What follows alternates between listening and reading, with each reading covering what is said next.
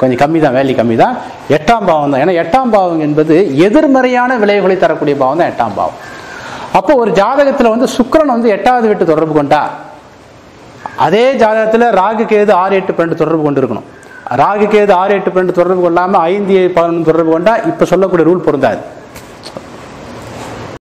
அப்போ இந்த சுக்கரன் அப்படின்ற கிரகம் வந்து எட்டாவது வீட்டு தொடர்பு கொள்ளும்போது எட்டாவது வீடு வந்து சிக்கி கொள்ளுதல் அப்படிங்கிறது ஒன்று ரெண்டாவது எதிர்மறையான விளைவுகளை தரக்கூடியது எட்டாவது வீடு சுக்கிரன்னா நம்ம அழகு கேளிக்கை மகிழ்ச்சி சந்தோஷம் சொல்றோம் இல்லையா? அந்த விளையாட்டு வினையாவதுன்னு சொல்றாங்க இல்லையா? அந்த மாதிரி. ஆரம்பத்தில் அப்படியே ஒரு ஒற்றீட்டுக்காக சாப்பிட்ற மாதிரி சாப்பிட்டுட்டு அப்புறம் போய் அதில் சிக்கிக்கிறது. அதுதான் வந்து இந்த வந்து ஒரு ஜாதகத்தில் எட்டாவது வீட்டு தொடர்பு கொண்டா இந்த ஆடம்பரம் அதாவது சந்தோஷத்துக்காக குடிக்க ஆரம்பிச்சு அப்புறம் போய் சிக்கிறது. ஓகேங்களா? அதுக்கப்புறம் சனி. சனியே இங்கே ரொம்ப முக்கியமான கிரகம். இன்னும் சொல்ல போனால் முதல்ல நான் சனி தான் சொல்லியிருக்கணும். இருக்கட்டுமே இதெல்லாம் சுக்கரன் சொல்லிட்டு ஏதோ ஒரு ஞாபகத்தில். சனிங்கிறது துக்கங்களுக்கு காரணம். அதாவது ஒரு சிலர் என்ன பண்ணுவாங்கன்னா குடும்பத்தில் ஒரு பிரச்சனை கணவன் மனைவிக்குள்ள ஒரு பிரச்சனை இல்லை ஒரு சோகம் வந்துச்சு கடன் தொல்லைகள் நிறைய வந்துச்சு வியாபாரத்தில் நிறைய நஷ்டம் ஆயிடுச்சு அதனால் என்ன பண்ணுவாங்கன்னா அதை வந்து தாங்க முடியாமல் குடிக்கிறதுன்னு சொல்லிட்டு போவாங்க.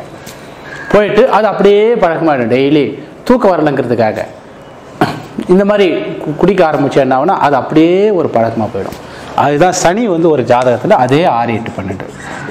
திரும்பவும் சொல்கிறேன் இங்கே ஆறோ பன்னெண்டோ வருவதை விட எட்டுங்கிற வரும்போது தான் இன்னும் கொஞ்சம் வீரியம் அதிகமாக இருக்கும். ஓகேங்களா அது மட்டும் இல்லாமல் ரொம்ப முக்கியமாக அடிமை அப்படிங்கிற விஷயத்துக்கு எது காரகம்னா சனி தான். சனி ஒரு ஜாதகத்தில் ஏழாவது வெட்டியை மூணு ஏழு பதினொன்று அப்படிங்கிற வீட்டை தொடர்பு கொண்டால் அவங்க எந்த விஷயத்திலும் அடிமையாக மாட்டாங்க அதாவது சனி அப்படிங்கிறதுக்கு ரெண்டு காரகம் இருக்கு. சனிங்கிறதுக்கு பணிவுன்னு ஒரு காரகம் இருக்கு. அடிமைன்னு ஒரு காரகம் இருக்கு. பணிவு அப்படின்னா என்ன? அப்படின்னா சனி வந்து லக்னத்துக்கு சாதகமாக இருந்தால் அது பேர் பணிவின் பேர். ஒன்று மூணு ஐந்து ஏழு பதினொன்று இந்த பாவங்கள் வந்து லக்னத்துக்கு சாதகமாக இருக்கிறதால அதுக்கு பேர் பணிவின் பேர். இந்த பணிவு அப்படின்னா என்ன அர்த்தம்னா ஒரு பெரிய மனிதர் ஒரு இன்னொரு பெரிய மனிதரை பணிவாக இருக்குது. உதாரணத்துக்கு சொல்கிறேன்னா ஒரு ஒரு இருபது வருஷத்துக்கு முன்னாடி நினைக்கிறேன். இருபது பதினஞ்சு ப- பதினெட்டு வருஷத்துக்கு முன்னாடி நம்ம இந்தியாவுடைய பிரதமர் அடல் பிகாரி வாஜ்பாய் அவர்கள் டெல்லியில் ஒரு ஃபங்க்ஷனில் சிறு சேமிப்பு சம்பந்தமான விஷயத்தை சிறப்பாக செயல்படுத்தின மதுரையை சேர்ந்த ஒரு பெண்மணி ஒரு வயசான அவங்க அம்மா பேர் எனக்கு டப்புன்னு ஞாபகம் வரல எனக்கு. வித்தியாசமான பேராக இருக்கும் கிராமத்து பேராக இருக்கும். அந்த அம்மாவுக்கு ஒரு பரிசு கொடுக்குறாரு. இவர் வந்து சிறு சேமிப்பை மதுரை அப்படின்ற ஏரியா மதுரை டிஸ்ட்ரிக்டில் கிராமத்தில் நிறைய ஊக்குவிச்சிருக்காங்க அப்படின்ட்டு அந்த அம்மாவுக்கு ஒரு பரிசு இதை கொடுக்குறாரு. கொடுத்துட்டு அந்த அம்மாவுடைய காலில் வந்து இந்தியாவுடைய பிரதமர் விழுந்து விழுந்துட்டார். அப்போ அது வந்து அவங்க அடிமை அர்த்தம் இல்லை. ஏன்னா அவங்க ஒரு ஓட்டு போடுவாங்க. அதுக்காக விழுந்துட்டார் அப்படிங்கிறதுலாம் இல்லை. அவர் ரொம்ப விரும்பிட்டார். அவர் வந்து உணர்ச்சி வசப்பட்டார். அதாவது ஒரு ஒரு கிராமத்திலிருந்து ஒரு பெண்மணி நிறைய பெண்களை சிறு சேமிப்பு அப்படிங்கிற திட்டத்தை ஊக்குவிச்சு இவ்வளோ செயல்படுத்தினாங்க அப்படின்னு அப்படியே ஒரு பணிவாக இருந்தார் பார்த்தீங்களா? அதுதான் வந்து பணிவுங்கிறது. அடிமை அப்படிங்கிறதுக்கு என்னன்றது உங்களுக்கு நிறைய தெரியும். அது நீங்கள் இதே இதே காலகட்டத்தில் ஒரு அஞ்சு வருஷத்துக்கு பின்னாடி போனீங்கன்னா நிறைய டிவியில் பார்த்தீங்கன்னா அப்போ தெரிஞ்சிடும் உங்களுக்கு. அடிமைன்னு. அடிமைனா என்ன? ரொம்ப வேறு வழியே இல்லாமல் முட்டி போயிட்டு போகிறது வந்து அடிமை. அது வேற அது அது வந்து அடிமை. அதை ஒருத்தர் ஒருத்தர் கோணத்தில் பணிவுன்னு இருக்கும் ஒருத்தர் கோணத்தில் அடிமைன்னு இருக்கும். அப்போ பணிவுங்கிறது என்னன்னா ஒரு கௌரவத்தை கொடுக்குறது. லக்னத்துக்கு ஒரு கௌரவத்தை கொடுக்குது இல்லையா? அப்போ சனி என்ற கிரகம் ஒரு ஜாதகத்தில் ஒன்று மூணு அஞ்சு ஏழு ஒன்பது குறிப்பாக ஏழு பதினொன்று இந்த பாவத்தெல்லாம் தொடர்பு கொள்ளும்போது அவங்க நிதானமாக இருப்பாங்க பணிவாக இருக்காங்க. இப்போ நீங்கள் சனிக்கு வந்து பணிவுன்னு சொல்லலாம் இன்னொரு காரணம் நிதானம்னு சொல்லலாம். அதே மாதிரி மந்தம் அப்படின்னு சொல்லலாம். இப்போ நிதானம் மந்தம் அப்படிங்கிறது ரெண்டும் ஒரே மீனிங்காக இருந்தாலும் நிதானம் என்பது பொறுமை அப்படிங்கிற விஷயத்த காரகம். மந்தம்ங்கிறது என்ன? ஒரு அவசரமாக செயல்படக்கூடிய இடத்துல வந்து நம்ம ஸ்லோவாக இருக்குது. அதுதான் மந்தம் அப்படிங்கிறது. சுறுசுறுப்பு இல்லாத விஷயத்து தான் மந்தம்னு சொல்லிட்டு. அப்போது சனி என்ற கிரகம் வந்து ஒரு ஜாதகத்தில் உங்களுக்கு நல்ல எட்டு பன்னெண்டு தொடர்பு கொள்ளாமல் இருந்திருந்தா குறிப்பாக ஏழு பன்னெண்டு தொடர்பு கொண்டால் அவங்க எந்த விஷயத்துலையும் அடிமையாக மாட்டாங்க அதாவது ரெண்டாவது சனி வந்து கீழ்த்தரமான ஒரு மனிதரை பார்த்த உடனே அவங்கள வந்து மற்றவங்க வந்து ஒரு மாதிரி பரிதாபப்படுறாங்க இல்லையா? அந்த பரிதாபம் அப்படிங்கிறது சனியோட காரகம். இந்த சனி ஒரு ஜாதகத்தில் கெட்டு போயிட்டு இருந்தா அவங்கள பார்த்து மற்றவங்க பரிதாபப்படுவாங்க. பரிதாபப்படுறதுனா அதாவது இங்கே அடிமை மதுவுக்கு அடிமை யாருன்னா இந்த மது சாப்பிட்டுட்டு குடும்பத்தில் சண்டை போடுறது இதெல்லாம் உறுப்புகள் பழுதாய் ஹாஸ்பிட்டலில் சேர்க்கறது இல்லை தொழிலில் வீழ்ச்சி அடையுது இதெல்லாம் பார்த்து மற்றவங்க பரிதாபப்படுறாங்க இல்லையா? அந்த மாதிரி அமைப்பு. அதாவது சனி என்ற கிரகம் வந்து பரிதாபத்துக்குரியவர்கள் அப்படிங்கிறது சனியோட காரகம் சனி ஒரு ஜாதகத்தில் நல்லா இருந்தால் பரிதாபத்துக்குரிய நபராக இருக்க மாட்டாங்க அவங்க. சனி கெட்டு போனால் தான் என்னென்னா அது பரிதாபத்துக்குரிய நபர்களாக இருப்பார்கள். அதாவது சனினாவே நம்ம கெட்டதுன்னு சொல்கிறோம் இல்லையா? ஏன்னா அந்த எட்டு எட்டாவது பாவத்தோட காரகத்தையும் பன்னிரெண்டாவது பாவத்தோட காரகத்தையும் அதிகமாக வைத்திருக்கக்கூடிய கிரகம் சனி. ஓகேங்களா அதே சனியில் உங்களுக்கு எல்லா பாவத்தோட காரகமும் இருக்குது பன்னிரெண்டு பாவத்தோட காரகமும் இருக்குது ஓகேங்களா? அப்போ அந்த வகையில் நம்ம என்ன பண்ணுறோன்னா இந்த சனி என்ற கிரகம் ஒரு ஜாதகத்தில் அதாவது சுக்கரன் சனி இந்த ரெண்டு கிரகமும் ஒரு ஜாதகத்தில் நல்லாவே இருக்குன்னு வச்சுங்களேன். அவங்க ராகு கேது கொஞ்சம் கெட்டு போயிருந்தாலும் கூட ராகு கேது ஆறு எட்டு பன்னெண்டு தொடர்பு கொண்டிருந்தாலும் கூட இந்த அடிமை ஆகிக்கிட்டு மதுவில் போய் சிக்கிக்கிட்டு கஷ்டப்பட்டு அவமானப்படுறது அந்த மாதிரி நிலைக்கு வரமாட்டாங்க அதுக்கு தான் சொல்ல வரேன் நான். இந்த மதுவுக்கு அடிமை யாருங்கிறது என்னன்னா யார் ட்ரிங்க்ஸ் அடிப்பாங்கன்னு நான் நான் சொல்ல வரல. ஏன்னா இன்னைக்கு உலக அளவில் இருக்கிற மக்கள் தொகை மக்கள் தொகையில் கிட்டத்தட்ட ஒரு ஒரு சென்சஸ் ரிப்போர்ட்டில் நூற்றி ஐம்பது கோடி பேர் இன்றைக்கி மது ம மது சாப்பிட்றாங்க. நூற்றி ஐம்பதுலேருந்து அதாவது போன வருஷம் கணக்கெடுத்த லிஸ்ட்டு பிரகாரம் இந்த வருஷம் கொஞ்சம் அதிகமாக ஆயிருக்கும். கொரோனா இல்லைங்கிறதால அடுத்த வருஷம் கணக்கேட்டால் தெரியும் உங்களுக்கு. அப்போ ஒரு ஒரு ஒரு ஆவரேஜாக பார்க்கும்போது இரு இருபத்தஞ்சி இருபத்தஞ்சி முப்பது இருபத்தஞ்சிலேருந்து முப்பது சதவீத நபர்கள் மது சாப்பிடக்கூடிய நபர்கள் அப்படிங்கிறது வந்துடுது இதில் பெண்களில் எடுக்கும்போது கிட்டத்தட்ட ஒரு எயிட்டி பர்சன்டேஜ் சாப்பிட மாட்டான்னு எடுக்கலாம் எயிட்டி டு நைன்ட்டி பர்சன்டேஜ் நான் வந்து வேர்ல்டு லெவலில் சொல்கிறேன் ஓகேங்களா? அப்போ ஆண்களில் பார்க்கும்போது கிட்டத்தட்ட உங்களுக்கு ஆவரேஜாக forty thirty to forty percentage வந்துடுது அதனால் நான் சொல்கிறது என்னன்னா அது அடிமையாகிட்டு அதில் போயிட்டு கஷ்டப்படுறாங்க இல்லையா? மது சாப்பிட்டுட்டு அது அடிமையாயிட்டு தன்னுடைய பொருளாதாரத்தை இழந்து தொழிலை இழந்து குடும்பத்தை இழந்து உடலை உடல் உடலுடைய உறுப்புகளில் உறுப்புகள் வந்து பழுதடைந்து இந்த மாதிரி நபர்களை தான் இன்றைக்கி நம்ம ஆய்வு பண்ணக்கூடியது. ஓகேங்களா? அதனால் அவர்களுக்கு இந்த ராகு கேது மட்டும் இல்லாமல் அந்த ஜாதகத்தில் சுக்கரனும் சனியும் கெட்டு போயிருக்க வேண்டும். அதுதான் இங்கே மெயினாக இந்த சுக்கிரன் சனின்ற கிரகம் கெட்டு போயிருந்தால் தான் இங்கே மெயின் அது. அதுக்கு மட்டும் இல்லாமல் குறிப்பாக அந்த ஆறாவது வீட்டு உபநட்சத்திரம் மெயினாக இந்த ஆறாவது வீட்டு உபநட்சத்திரம் இருக்கு இல்லைங்களா? உபநட்சத்திரம் வந்து ராகுவோ அல்லது கேதுவோ வந்துட்ட பிறகு வந்தா ராகுவோ அல்லது கேதுவோ இந்த ஆரம்ப முனையில் ராகுவோ அல்லது கேதுவோ வந்து அது நெருப்பு ராசியில் போய் உட்காந்தா என்னன்னா அதில் தீவிரமான ஒரு பற்று இருக்கும்.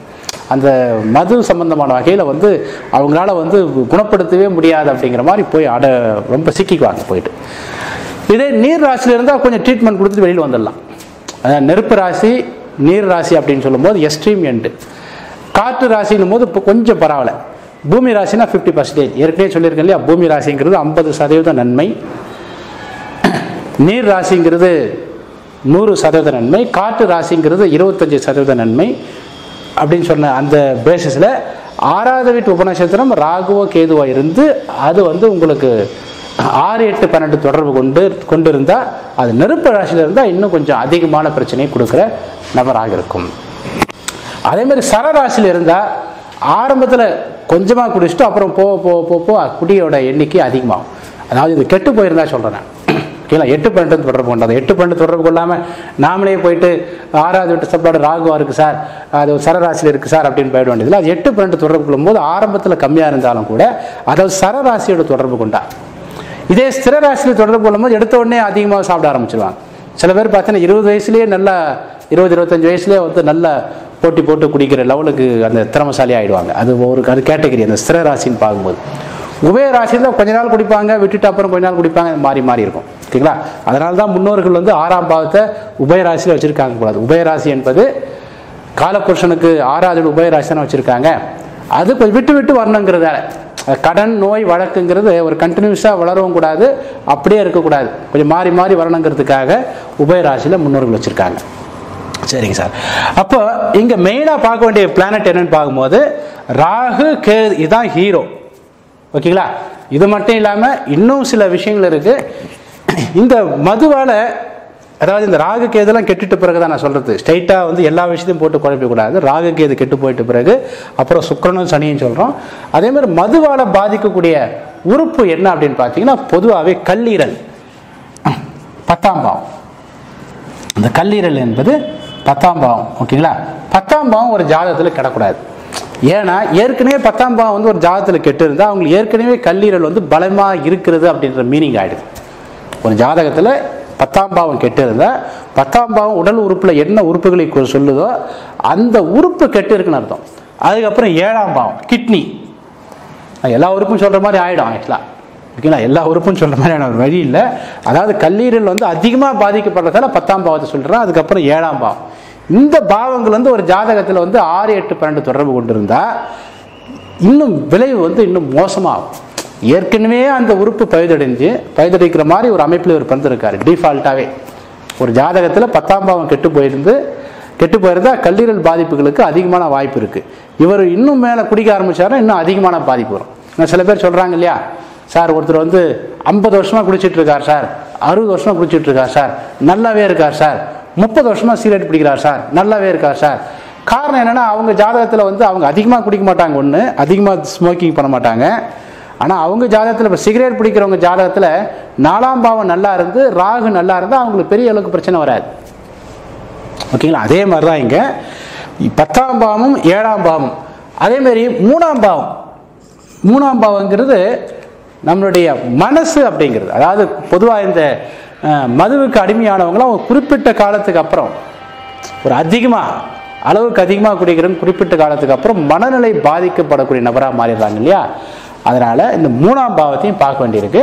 அது இல்லாமல் மூணாம் பாவங்கிறது மனசுன்னு சொல்லக்கூடியது. ரெண்டாவது நம்ம உடல்ல வந்து சிறுமூளை என்பது மூணாம் பாவத்தில் காரணம் சிறுமூளைன்னு சொல்லல மதுவால் அதிகமாக பாதிக்கக்கூடிய உறுப்பில் தொடர்ந்து மது சாப்பிடுவதால் அதிகமாக பாதிக்கப்படக்கூடிய உறுப்பு வந்து இந்த சிறுமூளை அப்படிங்கிறதால இந்த சிறுமூளையும் அவங்களுக்கு பாதிச்சிடும். அதாவது இந்த பத்து ஏழு மூணு இந்த பாவங்கள் எட்டு பன்னெண்டு தொடர்பு கொள்ளக்கூடாது.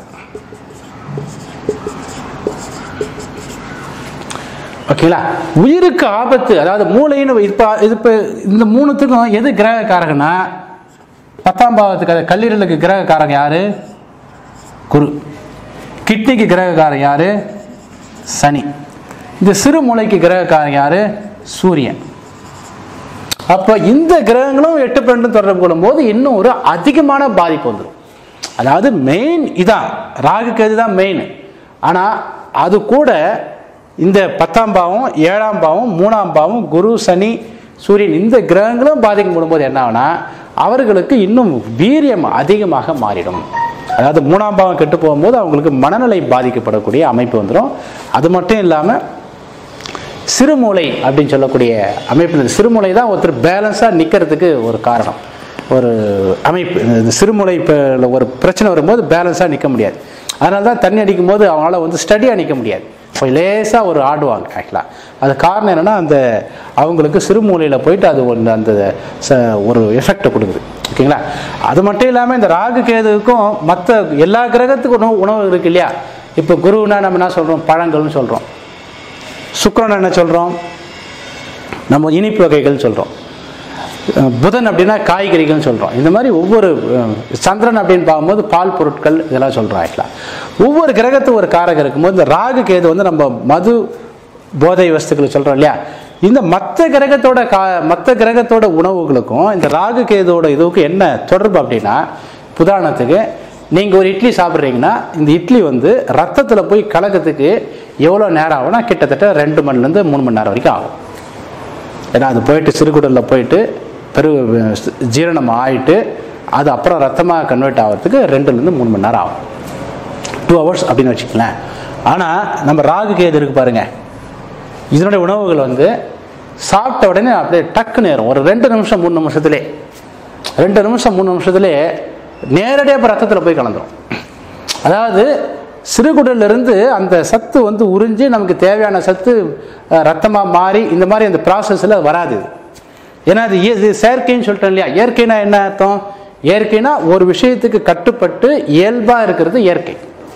செயற்கை என்னென்னா மனுஷனுடைய உருவாக்குறது. மனுஷன் உருவாக்குறது எல்லாம் செயற்கைன்னு சொல்கிறோம் இல்லையா? அப்போ இந்த ராகு கேது இந்த ராகு கேதோட இந்த உணவுகள் எல்லாமே சாப்பிட்ட உடனே சாப்பிட்ட உடனே என்ன ஆகுதுன்னா அது ஒரு வீரியமாக வேலை செய்யாது நேரடியாக ரத்தத்தில் போய் கலந்து நேரடியாக மூளைக்கு போயிடுது.